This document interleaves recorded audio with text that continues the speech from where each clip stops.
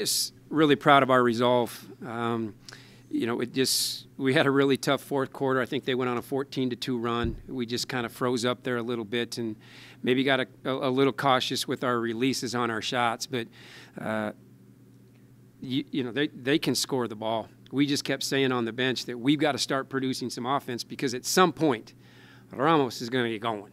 That kid is a rock star, and she just she's she's tough tough to handle. Uh, so just really proud that, that we hung in there. Uh, Ellen's big shot to, to send it into to overtime was huge, and so this this group needed this. This should springboard us a little bit, give us some confidence, and we can. Uh, just, just proud of the victory.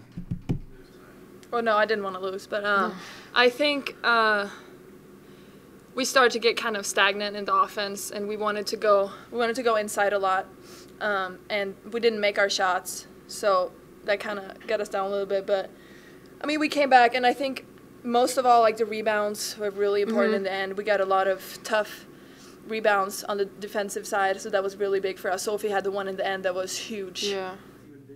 I, I don't give a rat's tail what my record is. All I know is we won tonight, and um, just as as a coach and a coaching staff, all you want to do is just hopefully you put your kids in a good spot to to go win a basketball game. And we've been fortunate to have uh, really, really good players in our time here. And, you know, these two came really early in our start, and we're really glad they did. And um, hopefully we can keep winning a lot more. But just happy that these, this group uh, got a good win because this group, this, you know, we've won. You say we've won some close games, but has this group won those games yet? So this is big for our whole team. Mayan, Taverdi, Stina, Sophie, to be in those situations and to come out on top. So proud of them.